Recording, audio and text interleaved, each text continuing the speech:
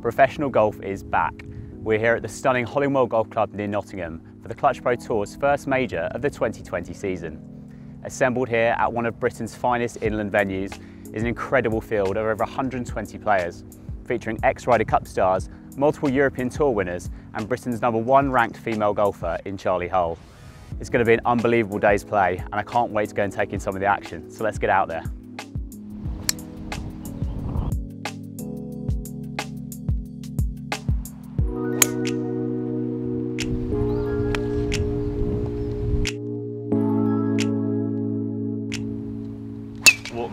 Such a special golf course? It's actually um, it's just brutal to be honest with you. You know, if you're not quite on your A game, it'll uh, it'll definitely highlight your uh, your errors. So. Uh, it's just a fantastic layout. I mean, every hole is like one of them holes that could be on the back of the scorecard type thing. So uh, it just the setting, everything, and the last three holes are, uh, are just I, I think personally are fantastic. Like how they're set into the uh, into the pine trees and the little like a little arena around 17. It's uh, it's fantastic.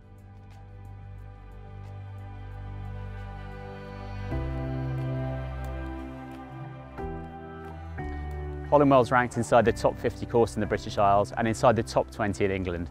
And even on the most benign day, it will provide an incredibly stern test for any professional golfer. But as you can see, we're up here on the 13th tee, the highest point of the golf course, and it's pretty gusty. So it's going to be tough going for all the guys out there today, and the girls.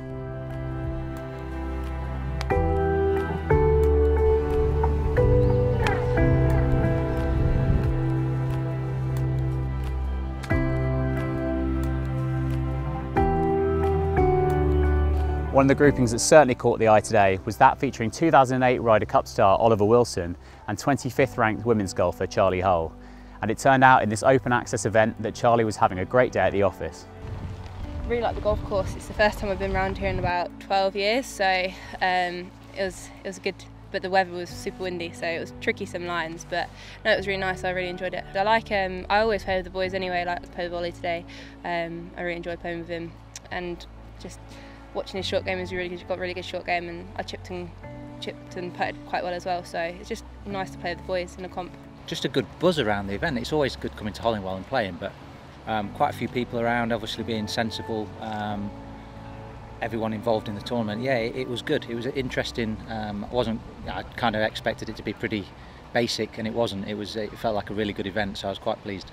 I know Charley. Um, I've never played with her, but I was really impressed. Um, she played way better than me. Um, she was unlucky, really. She was so solid, tee to green. Um, didn't really hold loads, but um, yeah, it was good. You know, um, what, yeah. What can I say? I mean, I. Uh, you can see how good she is, and you can see why she's doing what she's doing. She just looks really solid all the way through her game.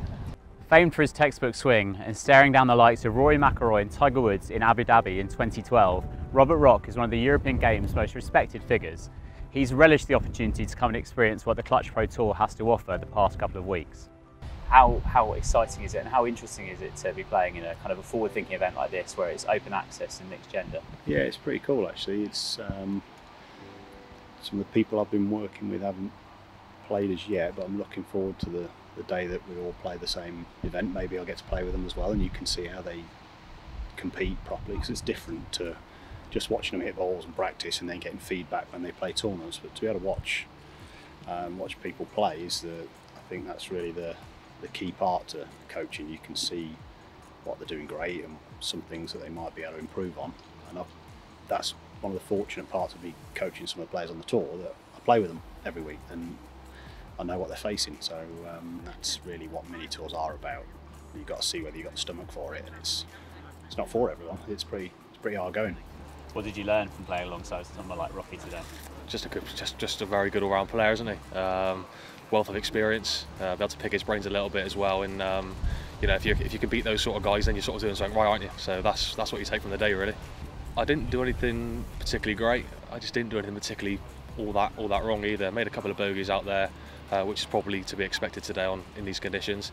Then picked up some nice shots. Made a nice two into the 13th, which is playing a real long hole today. So a lovely shot in there. Um, hold a nice bunker shot on the fourth as well, just to get my round going. So just just played just played some solid stuff. Despite the inclement conditions, the field's highest ranked male golfer, Andy Sullivan, set an imposing clubhouse target of 5 under par with a fine round of 67. For a good while, it seemed that this total was safe and that nobody would catch Sullivan and deny him the victory and the £10,000 first prize. But then, up stepped George Bloor. Courtesy of a stunning approach, Bloor found the dance floor in two blows at the par 5 17th to set up a birdie that gave him a sniff of victory heading down the last. Sadly, though, it was at the 18th where Bloor's challenge faltered. After finding trouble off the tee, he made a bogey, leaving him in the pack tied at 3 under par in a tie for third. The tournament wasn't over just yet, though, as Zimbabwean Benjamin Follett Smith stepped into the fray.